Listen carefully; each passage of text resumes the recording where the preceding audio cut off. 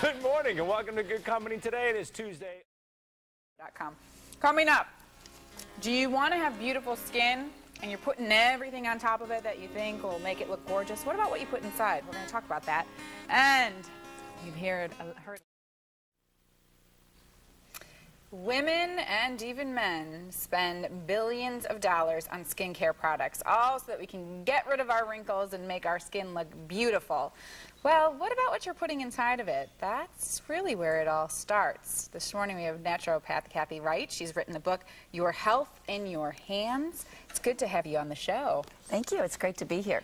Uh, what are some signs that our skin actually may be fighting some internal distress? Well, you know, the skin is actually an organ of your body, and when, you when the skin is healthy, it eliminates healthy, it breathes, and you don't have any blemishes, you don't have any discoloration, you don't have dryness, you don't have fine lines, all those things that we complain about.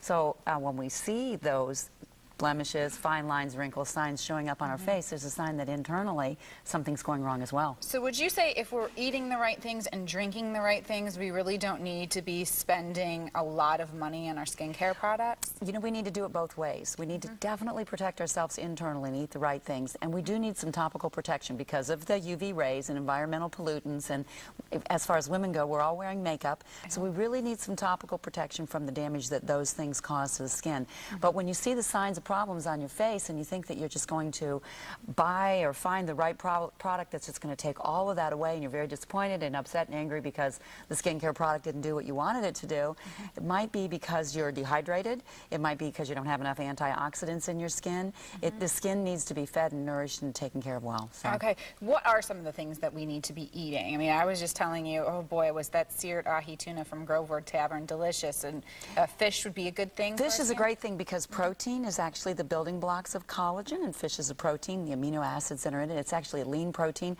Fish is actually high in omega-3 oils, and those are really healthy for the skin. So, you know, in my book, I talk about all those things specifically, but good lean protein foods are important for the skin. And you know what? The condiments, the little things that you put on the side, those are the things that are loaded with antioxidants, and they help your body digest the fish.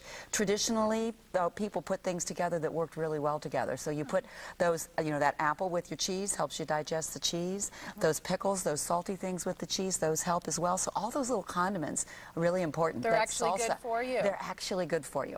It's very important. Now, I would think um, some of the things that you mentioned, they're going to be higher in sodium. Sometimes you think like sodium's going to work against you, but is that we actually need salt? It's a very mm-hmm. important thing. But if you eat, if you're living on a processed food diet, you're probably getting too much sodium. That's why we're concerned about it as a population. The thing is, if we eat mostly fresh food, and those things you had over there were all fresh foods. Yes, they have some sodium in them, but remember he put on the side a little of those mixed field greens. Mm -hmm. Those are really important. Those are the antioxidants, and their body uses the sodium to process those field field greens. It all works out as long as you keep a lot of fresh food in there. You mentioned the word antioxidant, which we hear a lot and we just associate it as being something that's good, that we need to eat or we need to put on our skin. But what is it actually Well, think about the word. Anti is against oxidation. So what's mm-hmm. oxidation? Oxidation is rust on metal. And the same thing happens in our arteries and it happens on our skin. It's kind of like the etching away and the breaking down of the surface of something. So an antioxidant stops the metal from rusting or stops the internal cells from breaking down and it stops the skin from rusting or etching away. So internally antioxidants come from any fresh fruits or vegetables. Basically that's the easiest way to say it. Nuts and seeds and grains, those are all loaded with antioxidants. What about water? How much water do we need to be drinking and what will it really do for our skin as a We need a lot of water. You know what, when we dry up a, a, a, grape, it's a prune, it shrivels up and we don't want to look like that. We need at least 50% of our body weight in ounces. So if you weigh 125 pounds, mm -hmm. you need about 60 ounces of water a day. And that is if you're not doing something to dehydrate yourself. One thing I really like to tell people about is we all like a good glass of wine. We just talked oh, about that. Yes, we do. okay, but wine and alcohol are dehydrating to your body. So a little trick trick to keep wine from aging your skin so tomorrow morning you wake up you don't have all those bags and lines on your face is make sure you drink as much water as you do wine. Okay, so for every glass of wine, Have, a glass, of water, And, and you of won't balance it. dehydrate. It protects your liver, your kidney. Those things protect the appearance of your skin. It balances it all out. So I have those kind of tricks in my book. Okay, um, let's really quickly talk about this product because a new friend of mine actually just recommended the Frownies Under Eye Patch, which first of all, you're an Ohio-based company, Right. which we love because we love anything that's local. But,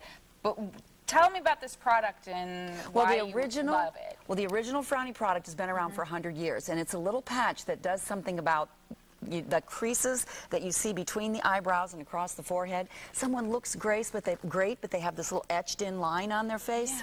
Well, Frownies patch is a mechanical splint. You put the splint over the uh, line, and you sleep with it on at night, and it actually reshapes the face. Instead of injecting something in there, you reshape the muscle. Now, somebody that has gorgeous skin like you and is young can start wearing Frownies right now. As soon as you see little lines across the forehead, Yeah. little faint lines, it's like nothing to, you know, like freak out about. Yeah. But you don't want those lines 10 years from now to be deep lines. So you wear the Frowny patch at night over the line while you sleep. It reverses the line. I'm 55. I've had five children. I don't have lines on my face, but I've been wearing the product for over 30 years. And you've never done Botox I've never done anything? any surgeries, any don't. Botox. I feel it I here. apply the antioxidant-rich products. I use the under eye patches, and I use the Frownies patch. Frownies.com for more information on the patches and Your Health in Your Hands, written by Karen Wright. Kathy. Oh, Sorry. Kathy! I'm sorry, that's okay. Sorry. Kathy I, Wright. My apologies. I was thinking of my mom. I don't know. my mom's Karen. Kathy Wright. I apologize. Kathy, Kathy, Kathy. All right. At Good to have you. frownies.com. All right. It's good to have you on the show. Thank you. All right, stay with us. We will be back with more of Good Company. Your chance to win tickets to Jackson Browne. And we've been hearing some of that great music throughout the show. So we've got a performance for you coming up.